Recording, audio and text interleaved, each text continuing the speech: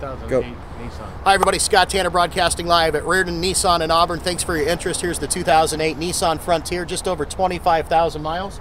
Follow me. This is a virtual walk around. This gives you a ample uh, view of the vehicle, I guess we like to say, as opposed to just looking at some pictures. This does have the five-speed transmission. Why don't we jump on inside there? Absolutely clean. And as you look in the bed right here, we do have a, uh bed liner. Protect you from maybe if you're getting wood or putting stuff in the back. This vehicle, Nissans, I have one myself, and I'll tell you what, they're absolutely durable. They get great gas mileage. Most of all, they last a long time. Scott Tanner saying if you're interested in this vehicle, call the number right up above or visit our web address. We'd be happy to answer any questions. We're broadcasting live from Rairdon Nissan right here in Auburn saying make it a great day.